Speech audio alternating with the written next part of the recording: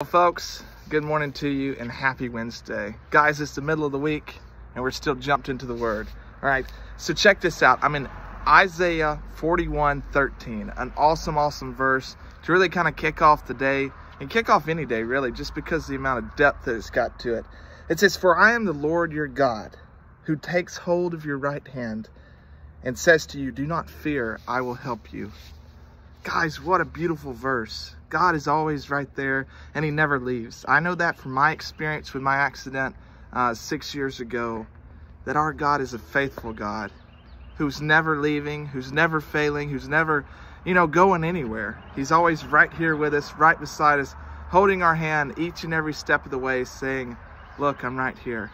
Guys, happy Wednesday to you. Have a beautiful and wonderful day. And folks, stay jumped into the Word.